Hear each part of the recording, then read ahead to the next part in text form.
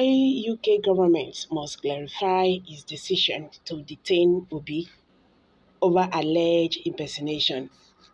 Rufai Oseni.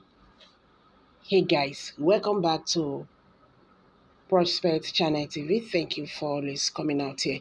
If you are just joining us, please kindly subscribe to this channel and don't forget to give us a thumbs up. Thank you.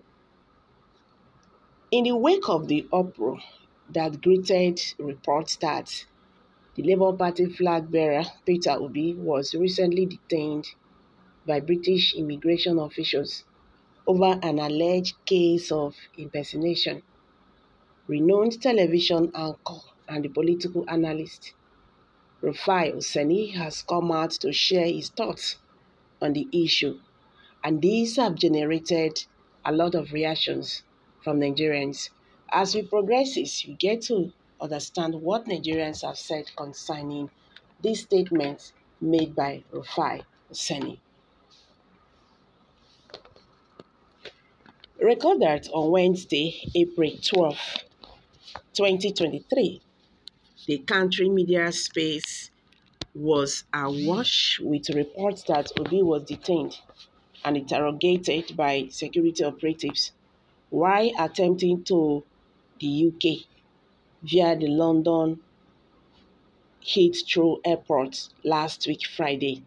It was gathered that the former Anambra governor was told that his passport had been duplicated and someone else was already in the country with his identity.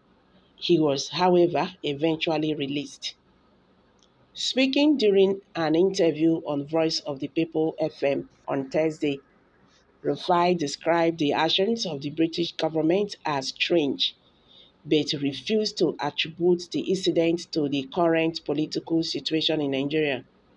Going further, the renowned TV anchor insisted that the UK must provide clarification on why it chose to detain a man who has not only lived in the country for decades but is also a well-known figure among British government officials. We all know it is a political season and there has been some hard, stark politics being played in Nigeria. The question we should ask ourselves is, Obi has been going in and out of the UK and has ever lived ever lived in in, UK, in, in, in the country for so many years why is it this political period that somebody is impersonating him? So this is another one. Why is it that is this political period that someone is now impersonating Peter Obi? This man was going in and out of the UK during campaign season. So why is it after elections that someone would choose to impersonate uh, him? The UK must clarify this issue. He is a well-known figure among the high-ranking British government officials. A lot of people are saying it is political, though there is no hard evidence to buttress that point. But there has been some push for him to leave the country recently. I would like him to investigate further. We who are those impersonating him and where is it coming from? I like to talk based on evidence. People are saying it is political, which hurt, but there is no evidence to back it up. But the UK must come out to clarify why it detained Obi. They must investigate and bring the perpetrators to book. All of this harassment is just in tandem with the political season, he said. So, guys, what's your take on this?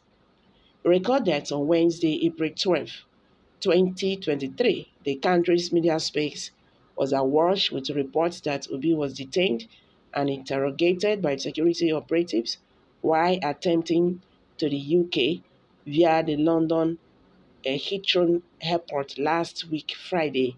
It was gathered that the former Anambra governor was told that his passport had been duplicated and someone else was already in the country with his identity he, he was however eventually released Speaking during an interview on Voice of the People FM on Thursday, Rufai described the action of the British government as strange, but refused to attribute the incident to the current political situation in Nigeria. Going forward, the renowned TV anchor insisted that the UK must provide clarification on why he chose to detain a man who has not only lived in the country for decades, but it is also a well-known figure among British government officials. Nigerians have this to say. UK is not as porous as your Nigeria. So stop making it look like Peter Obi is so special and cannot be held down by immigration. It is a procedure, so don't abuse the mind of Nigerians by making the issue sound political. So you will tell us, Tinubu arrange it, Abi. But you hear when he said he cannot say it is political because there is no evidence for that. If actually someone is personating Peter Obi out there in London, the, the, the British government should, should provide those people who are doing that. You are accusing Tinubu now, not him. Exactly. He's special.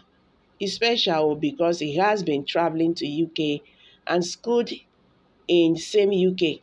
So APC and bad UK people does not want him as president because of their resources they are getting in Nigeria. Simple.